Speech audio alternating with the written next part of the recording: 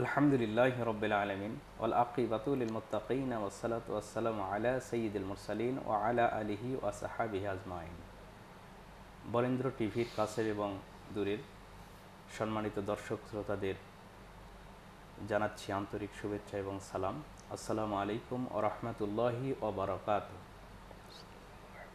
সম্মানিত দর্শক শ্রোতা, মাহি রমজানের মাস অত্যন্ত বরকতপূর্ণ মাস, ফজিলতপূর্ণ মাস। এ মাসে মহান আল্লাপাক তার জাহান্নামকে বন্ধ রাখেন, জান্নাতকে উন্মুক্ত করে দেন।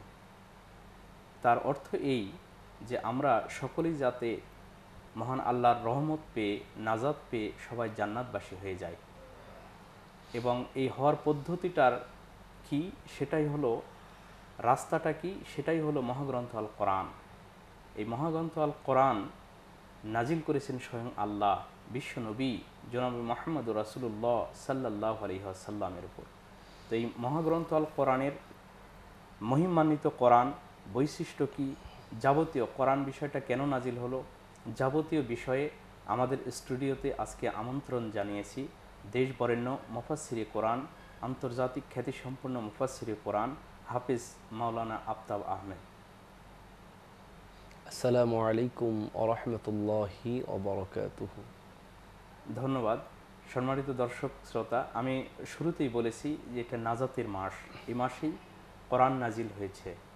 আল্লাহবাক বলেছেন শাহরুর রমাদান আল্লাদি উংজিলা ফিহিল কোরআন। এই মাসেই এটাই সেই মাস যে মাসে কোরআন নাজিল করেছি আমি। তো কোরআন মহান আল্লাপাক কেন নাজিল করলেন? সে বিষয়ে যাওয়ার আগে আমরা জানব, আসলে কোরআন শরীফ নাজিল করেছেন এর পরিচয়টা কি? আমরা সম্মানিত মহতারাম হাফিজ মাওলানা আফতাব আহমেদের কাছে আমরা জানতে চাচ্ছি যে আসলে কোরআন, আমাদের এই মহিমানিত কোরআন, এটা কেন আমাদের উপর নাজিল করা হয়েছে বা এই কোরআনটার মর্যাদা মহিমান্বিত কেন? ধন্যবাদ মোহতারাম, আপনাকে অসংখ্য যে অত্যন্ত গুরুত্বপূর্ণ একটি প্রশ্ন আপনি করেছেন। আপনার মাধ্যম দিয়ে এবং বরেন্দ্র টেলিভিশনের মাধ্যমে আমি সকলকে জানাতে চাই যে পবিত্র আল কোরআনুল করিম যে নাজিল হয়েছে কেন? এটা জানার আগে একটু আমি বলে নিতে চাই যে এই যে রমজান মাস, এই রমজান মাস সিএম সাধনা, এত আলোচনা, এত ইবাদত সব কিছু বেশি বেশি আমরা করতে চাই। কিন্তু আমরা যদি একটু চিন্তা করি যে এই যে বেশি বেশি ইবাদত, বেশি বেশি সব বেশি বেশি রহমত বরকত মাগফিরাত সব কিছুই কিন্তু মানে খুব বেশি বেশি। তো এর কারণটা কি? আর এই মাসকে কেন এত মহিমান্বিত করা হলো? তো এটা যদি আমরা বিশ্লেষণ করতে চাই তাহলে আমরা একটু চিন্তা করলেই দেখব যে পবিত্র আল কোরআনুল করিম নাজিল হয়েছে এ মাসে। এই জন্যই কিন্তু এ মাসের মর্যাদা এত বেশি। আল্লাহ সুবাহ তালা পবিত্র আল কোরআনুল করিমে সুন্দর করে বলে দিচ্ছেন শেহরু রমাদান আল্লাদি উংজিলা ফিহিল কোরআন। যে এই রমজান মাসেই পবিত্র আল কোরআনুল করিম নাজিল করা হয়েছে। শুধু তাই নয় মহতারাম, আপনি দেখবেন যে এই রমজান মাসের মধ্যে একটি মহিমান্বিত রাত আছে। সেটাকে লাইলাতুল কদর বলা হয়। যে রাত সম্পর্কে বলা হয়েছে, লাইলাতুল কদরি হয়রুমিন আলফি শাহ যে একটি রাত ইবাদত করলে, হাজার মাস ইবাদত করলে যে সব আল্লাহ সুবহান হুয়া তালা দান করেন, তার চাইতেও বেশি সব আল্লাহ পাক একটি রাতের মাধ্যমে আমাদেরকে দিচ্ছেন। এরও একমাত্র কারণ হলো যে এ রাতেই কোরআন নাজিল হয়েছে। আচ্ছা এবারে আমরা আসি যে আপনি যে প্রশ্নটি আমাকে করেছেন যে কোরআনের পরিচয়টা কি? আসলে কোরআনের পরিচয়টা যদি আমরা জানতে চাই বুঝতে চাই তাহলে আমরা পবিত্র আল কোরআনুল কারিমের দিকেই ফিরে চাই কারণ পৃথিবীতে একটি মাত্র ধর্মগ্রন্থ একটি মাত্র কিতাব যে কিতাবের ভিতরেই কিতাবের পরিচয়টি সুন্দর করে আল্লাহ দিয়ে পরিষ্কার করে বলে দিয়েছেন। যেমন আপনি যদি জানতে চান যে কোরআন তুমি এই পৃথিবীতে আসার আগে কোথায় ছিলে? তোমার বাসস্থানটা কোথায় ছিল? পবিত্র কোরআনুল করিম নিজেই বলে দিচ্ছেন লৌহি মাহফুজ। বালুহুয়া কোরআন। মাজিদ ফি লাউহিম মাহফুজ। যে লাউহি মাহফুজের মধ্যে আমি ছিলাম। এখন যদি আপনি বলেন যে ঠিক আছে বুঝলাম তুমি লাউহে মাহফুজে ছিলে। এখন বলো কে তোমাকে নিয়ে আসলো? পবিত্র আল কোরআনুল করিমের ভেতরে স্পষ্ট বলা হয়েছে নাজালা বিহির রোহুল আমিন। অর্থাৎ জিব্রিল আমিন আলহিসাল্লাম তিনি পবিত্র আল কোরআনুল কারিম পৃথিবীতে এনেছেন। এবার যদি আপনি জানতে চান যে ঠিক আছে কোরআন, বুঝলাম, তুমি জিবরিল আমিনের মাধ্যমে পৃথিবীতে এসেছ, এখন বলো তুমি কোন মাসে এসেছ? আমি যে একটি তেলাওয়াত করেছি, শাহরু রমাব কোরআন। এখান থেকে স্পষ্ট হয়ে যায় রমজান মাসেই কোরআন নাজিল হয়েছে। এমন কি যদি বলেন বুঝলাম যে রাত তুমি রাতে হয়েছো না দিনে হয়েছো সকালে না বিকালে অ্যাট এ টাইম তুমি কোন সময় নাজিল হয়েছো সেটাও কোরআন বলে দিচ্ছে কদর। যে কদরের রাতেই আমি কোরআন নাজিল হয়েছি।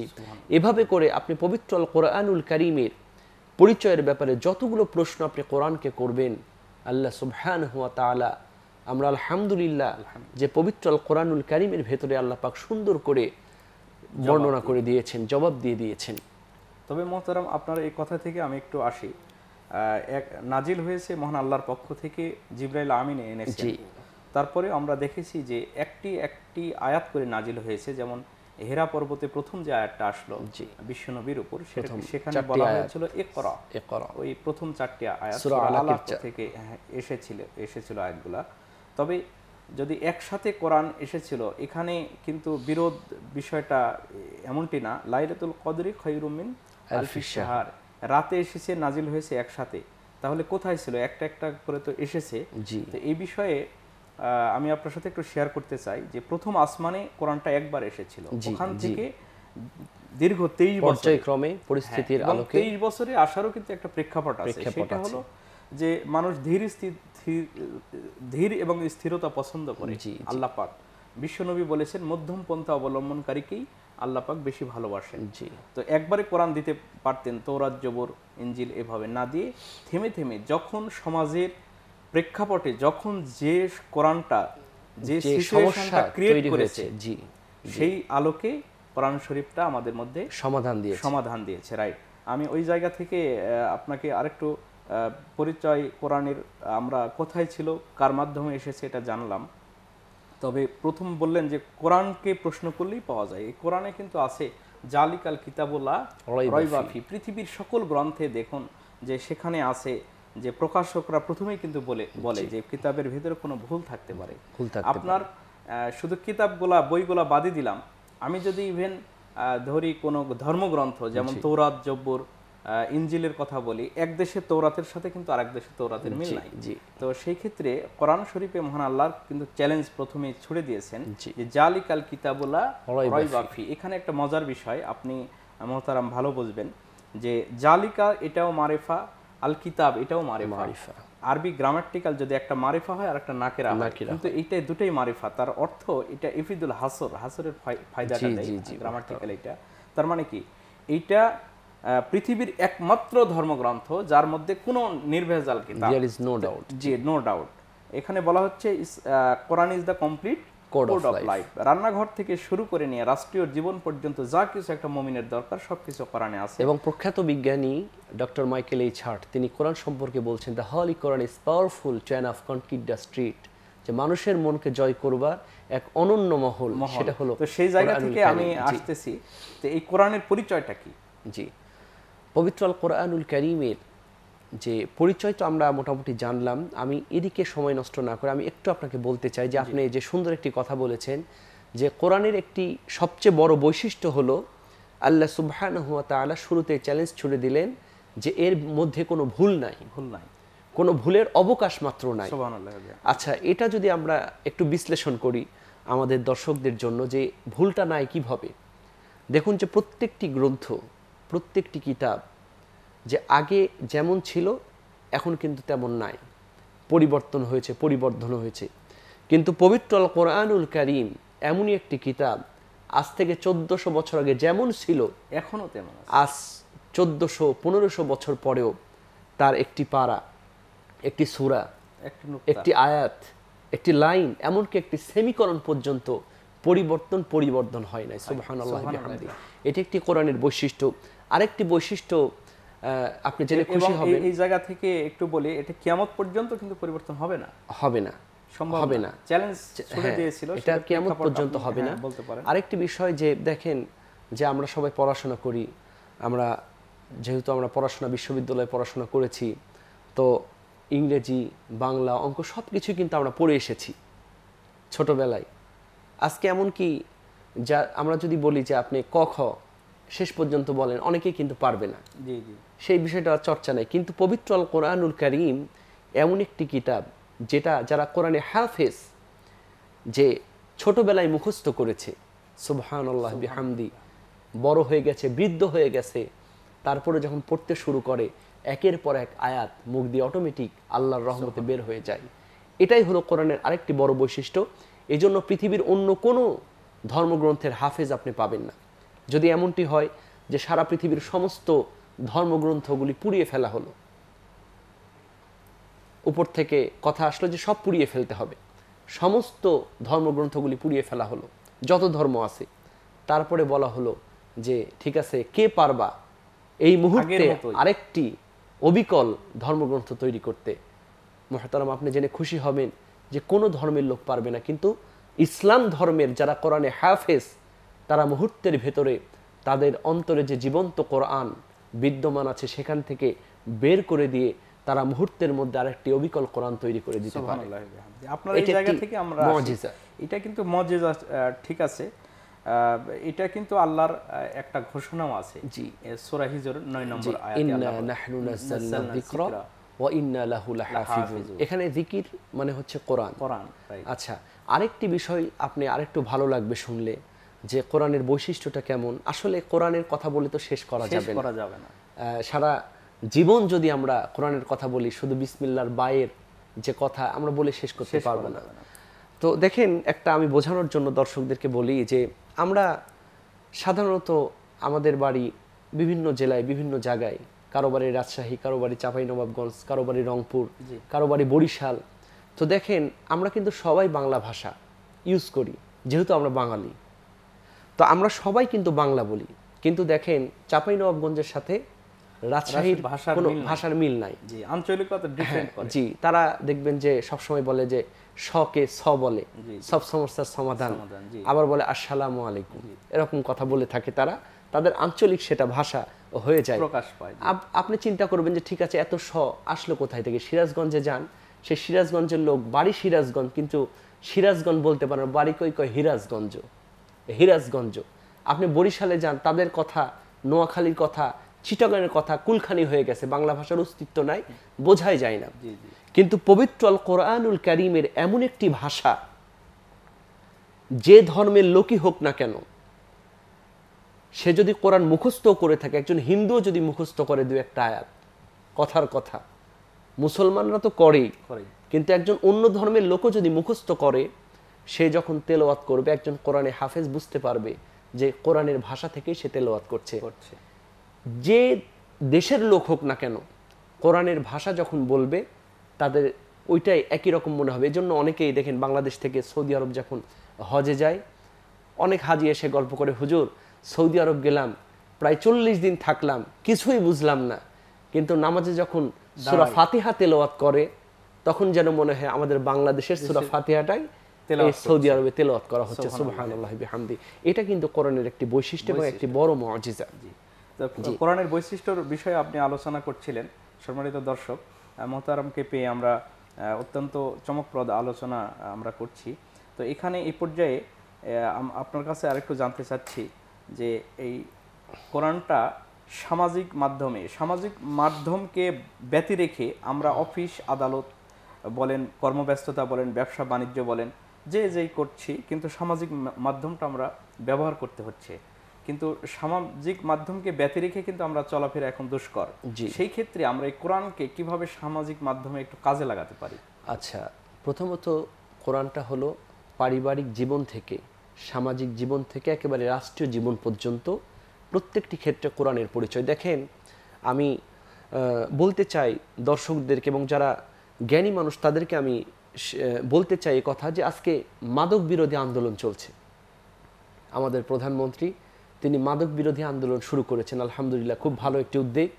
কিন্তু দেখেন এই মাদক বিরোধী আন্দোলন কিন্তু আল্লাহ সুবহান হুয়া তাআলা পবিত্র কোরআনুল কারিমেই বলে দিয়েছেন ইন্নামাল খমরু ওয়াল- ওয়াল মাইসির ফিহিমা ইসমুন কাবীর। যে এটা একটি বড় ক্ষতিকারক দিক এই যে জোয়া এবং মদ। মদ। মদ। তো এরকমভাবে শুধু এটা নয় সামাজিকভাবে যতগুলো খারাপ কাজ আছে প্রত্যেকটা কাজের ব্যাপারে নিষেধাজ্ঞা দিয়েছেন পবিত্র কোরআনুল কারীম। নিষেধাজ্ঞা বিশ্ব নবীজির মাধ্যমে তার মাধ্যমে পবিত্র আল কোরআনুল কারীম বলেছেন যে নবী করিম সাল্লাহ সাল্লাম যে কোরআনের রেফারেন্স দিয়ে তার জীবদ্দশা দিয়ে কোরআন দিয়ে বুঝিয়ে গেছেন যে কোনটা ভালো কোনটা কোনটা খারাপ। তো আপনি যে কথাটি বললেন খুব সুন্দর কথা এটা আসলে আমাদের সকলের জানা দরকার যে সামাজিক মাধ্যম যোগাযোগ মাধ্যম এখন যোগাযোগ মাধ্যম বলতে আমরা mobile internet Facebook computer TV বিভিন্ন চ্যানেল এগুলোকেই আমরা ধরে থাকি। তো এখন প্রশ্ন হলো যে আমাকে মোবাইল ব্যবহার করতেই হবে।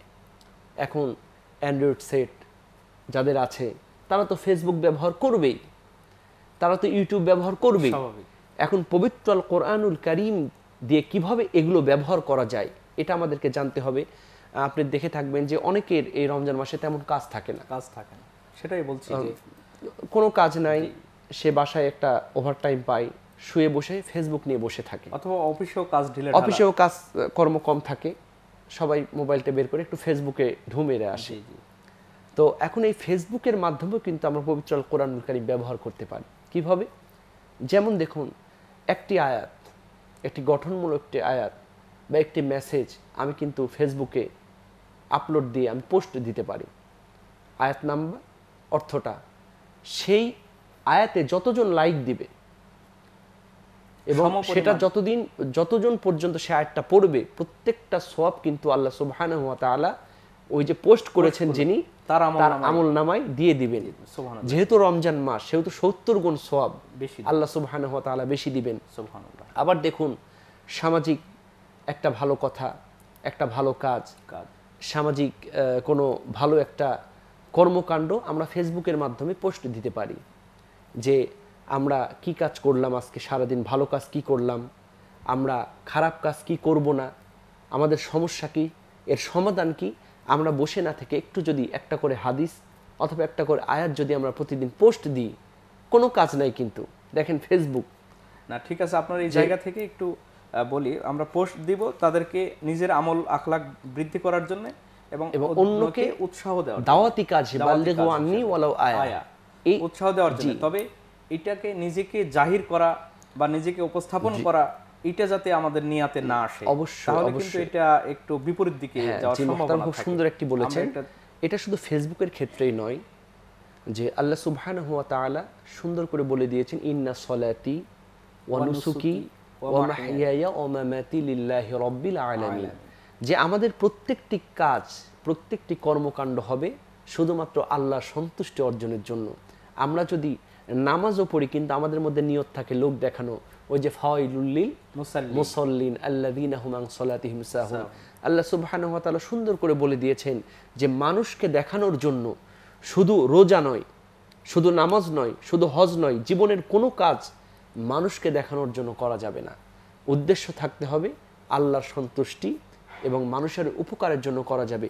নিজেকে জহির করার জন্য আমি কত বড় কত ভালো দামি ইফতারি করালাম কত ইফতার পার্টি আমি দিতে পারলাম কত ইফতার পার্টির পেছনে আমার কোনো অন্য উদ্দেশ্য আছে কিনা? আছে কিনা বা আমার কুরবানি কত বড় হলো? এরকম কোন ইবাদতের ক্ষেত্রে প্রত্যেকটি ক্ষেত্রে মানুষকে দেখানোর জন্য কোনো কর্মকাণ্ডই করা যাবে না।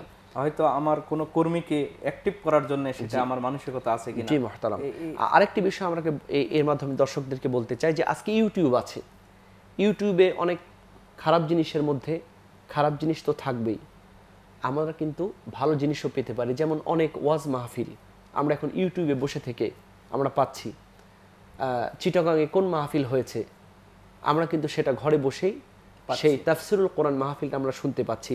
এজন্য আমি দর্শকদেরকে বলব যে আমরা অযথা সিনেমা, নাটক এগুলো ডাউনলোড না করে আমরা যদি মুসলমান হয়ে থাকি, আমরা ওয়াজ মাহফিল, আমরা আন্তর্জাতিক কারীদের কিরাত মাহফিল, আমরা যদি ডাউনলোড দিয়ে আমরা যদি শুনি, আমাদের সন্তানদেরকে শোনাই, দেখুন, আমার যে ইন্টারনেট সেটারও ব্যবহার হচ্ছে এবং পরিবারকে যে যেগুলো মেসেজগুলো দেওয়া যাচ্ছে এবং তার মাধ্যমে এই ফেসবুক ইন্টারনেটের মাধ্যমেই আমাকে ইহকালীন শান্তি পরকালীন মুক্তি অর্জন হয়ে যাচ্ছে। হয়ে যাচ্ছে। আর এই পৃথিবীতে কিন্তু কোনো কিতাব পড়লে কিন্তু সোয়াবের ঘোষণা নাই।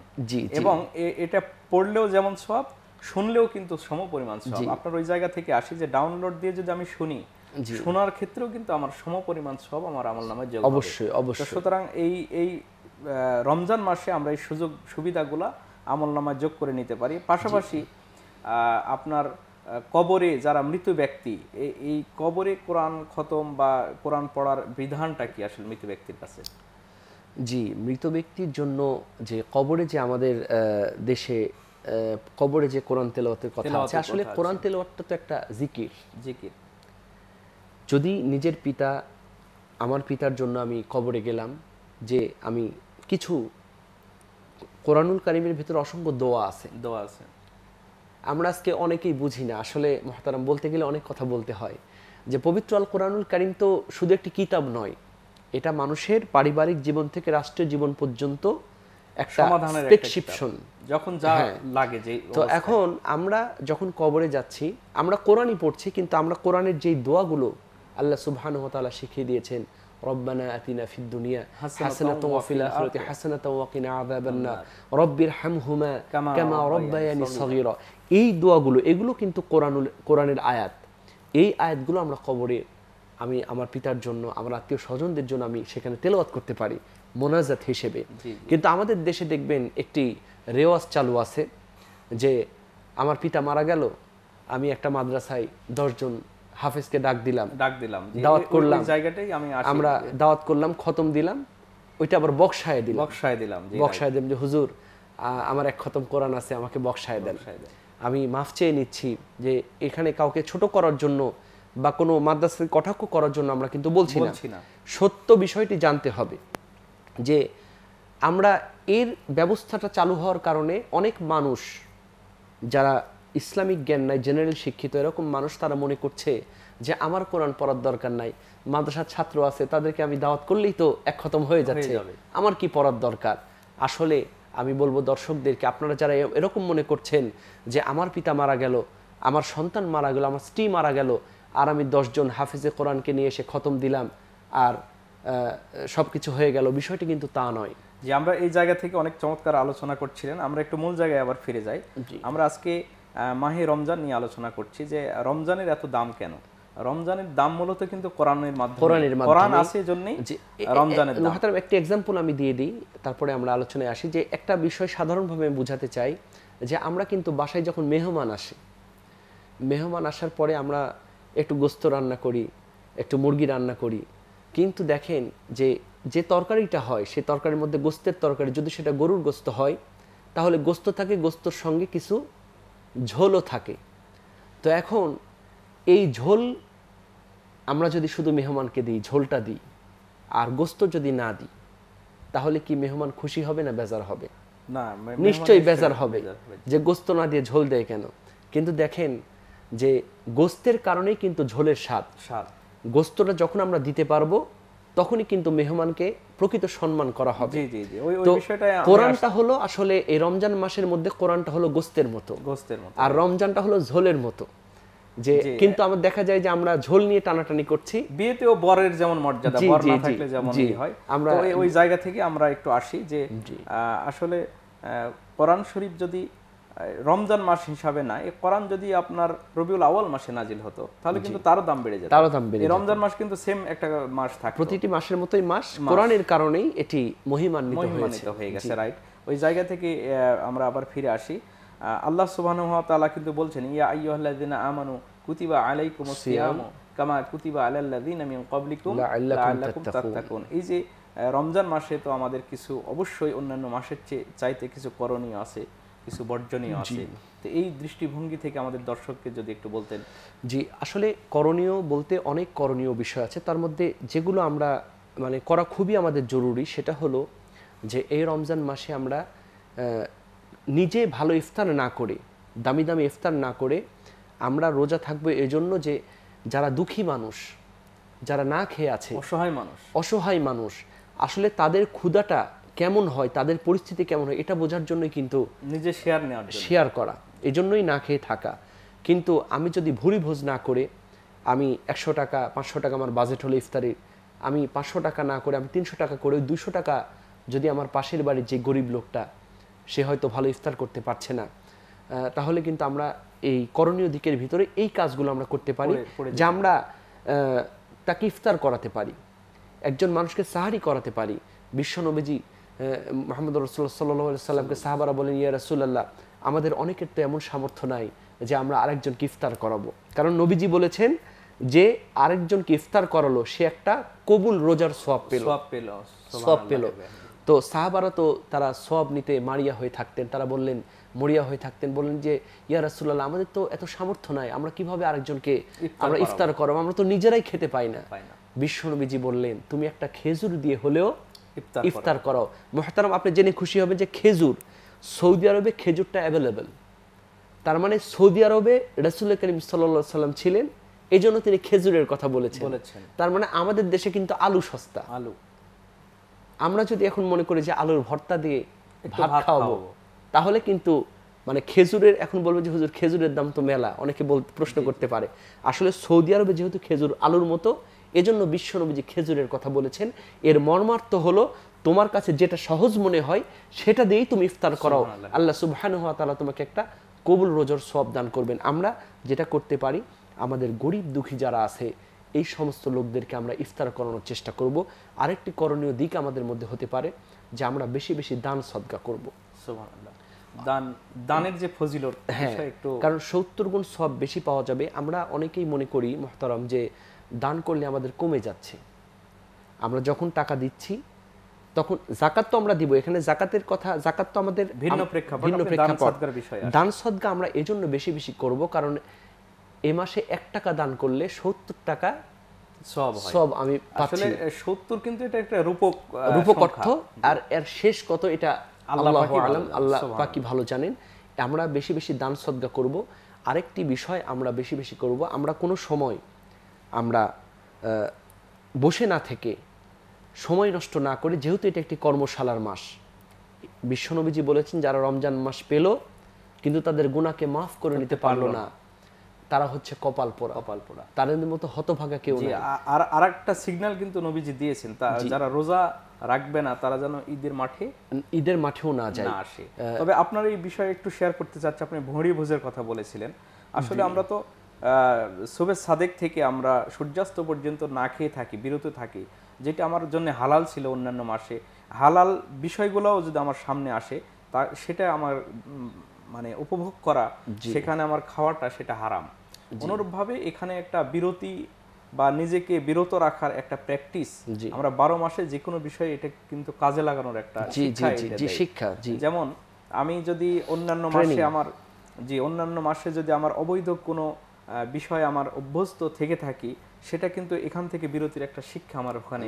ওই প্রভাবটা এই প্রভাবটা যদি আমি ওখানে না ফেলি যদি কাজে না লাগাতে পারি কিন্তু রোজার কোনো দাম দাম আসবে না। তো সুতরাং আমরা আলোচনার শুরুতে আবার ফিরে আসি। মাহে রমজান মাসকেই কেন্দ্র করে কিন্তু কোরআনের এত মর্যাদা। এখানে একটু বিষয় বলে নিয়ে যে আমরা করণীয় দিক যেহেতু বললাম আমার মনে হয় বর্জনীয় দিকটাও বর্জনীয় দিকটা একটু একটু আমরা সংক্ষিপ্তভাবে বলতে চাই যে বর্জনীয় দিক আমাদের হতে পারে যে আমরা অনেকেই এই বিশেষ করে মহিলা যারা মা বোনেরা যারা আছে তারা এই রমজান মাসে অনেকেই আছে শুধু TV serial Indian serial Star জল সেগুলো নিয়ে বসে থাকে বসে থাকেন। এটা একেবারেই মানে মানে এটা তো রমজানটা বরবাদ হয়ে যাবে। শুধু তো রমজান তো হবেই না বরং রোজা থেকে যদি আমরা এরকম ইন্ডিয়ান সিরিয়াল আর এগুলো সিরিয়াল নিয়ে যদি আমরা পড়ে থাকি তাহলে আমাদের রোজাও বরবাদ হবে এবং রোজাটা আমাদের জন্য লানত হবে। লানত হয়ে এজন্য এই কাজ আমরা কেউ করব না। আরেকটি মহতারাম একটি গুরুত্বপূর্ণ বিষয় আমি বলতে চাই যে এই রমজান মাস আসলে আমাদের ঈদের যে একটা সামনে যেহেতু ঈদ আছে ঈদের একটা কেনাকাটার ঝোঁক আসে। বাচ্চারা বলে আব্বু আমাকে ওই ড্রেস দাও কিনে দাও। আমাকে এই ড্রেস দাও। তো আমি দর্শকদেরকে বলতে চাই যে সন্তানের মহাব্বতে অনেকে তারা যা চায় আমরা তাই তাদেরকে কিনে দিচ্ছি। বলল যে আব্বু আমাকে পাখি ড্রেস কিনে দাও আমাকে কিরণমালা ড্রেস কিনে দাও। কিন্তু আমি চিন্তা করলাম যে আমার একটাই মেয়ে আমার ছেলেটা আবদার করেছে যে পাগলু স্যান্ডেল কিনবে। অথবা আবদার আবদার করেছে যে আমাকে একটা অমুক নায়ক যে ড্রেস পরে বাজারে উঠছে আমি ওইটা নিব। আমি দর্শকদেরকে বলতে চাই যে কখনোই আপনারা এরকম কাজ করবেন না। সন্তান যতই বলুক তাদের তাদেরকে বোঝান। আমরা আমরা এই কাজগুলো করব না। সময় দিতে পারলে আরও ভালো লাগতো। তবে আমরা ওই যে সব অঙ্গ প্রত্যঙ্গের যে রোজা আছে সেই রোজাটা কিন্তু আমাদের বঞ্চিত হয়ে যাবে। যদি স্টার জালসাদের রিমোট হাতে রোজাটা হবে না। আমরা আলোচনার সময় সংক্ষিপ্ত হওয়ার কারণে আমরা দর্শকদের মধ্যে মাঝে এতক্ষণ ধরে আমরা সম্মানিত মহতারাম আফতাব সাহেবের কাছ থেকে যে আলোচনাগুলো শুনলাম সেটা বাস্তব জীবনে আমরা সকলে যাতে আমল করতে পারি এই উদাত্ত আহ্বান আমি সকলকে রেখে আহ, আজকে সংক্ষেপে শেষ করছি। আসসালামু আলাইকুম ও রহমতুল্লাহি ওবরাকাতু